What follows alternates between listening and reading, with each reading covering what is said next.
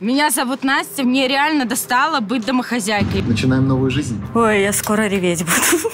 Я даже не хочу это выворачивать. Что вы до меня доколупались? Можно повязку уже снять. Жесть, они меня вообще сейчас забивать и будут. Умница!